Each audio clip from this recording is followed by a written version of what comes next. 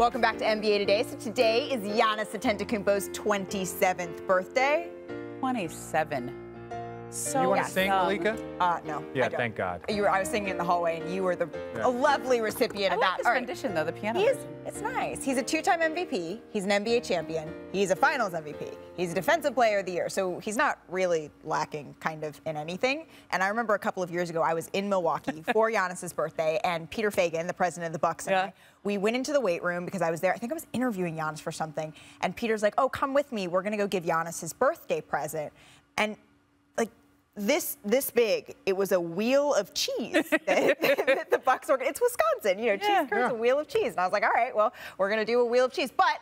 If you guys are not getting him a wheel of cheese this year, I want to know what gift, starting with you, Ramona, you would give Giannis Antetokounmpo for his 27th birthday. Well, I want to make sure that he's tried fried Twinkies.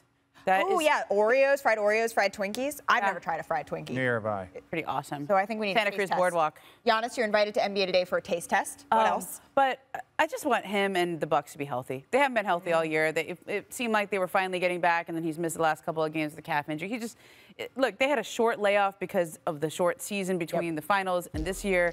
I don't expect them to have a lights out kind of regular season because of that, because they need to get their stars some rest. But between Khris Middleton and Jrue Holiday, Brook Lopez having back surgery, Giannis with the little nagging injuries, I just want to see them healthy at the right time so that we can see a real championship defense. Okay, Richard. Uh, look, just to add to that, add to what she's saying, health. I think that is literally the only thing that this individual could have, and it's mainly because when healthy, their team is they're they're one of the top two or three teams. They are the defending Yep. champion, uh, and you could say that about a lot of people, but I think specifically this team, which worries me, only because we saw last year all the teams that went far in the bubble and they had that short layoff, they were struggling for a variety of reasons, injuries, health, all the things. So now that this team, the Bucks team, was able to go all the way to a championship, had two guys go to the Olympics. Now they have a shortened offseason, and you're kind of seeing the residual effects of that. Yeah, and I will say this: you mentioned the calf injury, two games I believe that Yep. he's missed with that, right? Giannis Antetokounmpo is a guy who they said that maybe he was going to be out for an extended stretch, right, out, coming out of the Eastern Conference Finals, and he said, "No, I'm Giannis. I have super health,"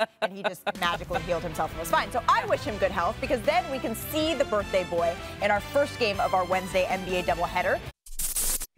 Thank you for watching ESPN on YouTube. For live streaming sports and premium content, subscribe to ESPN Plus.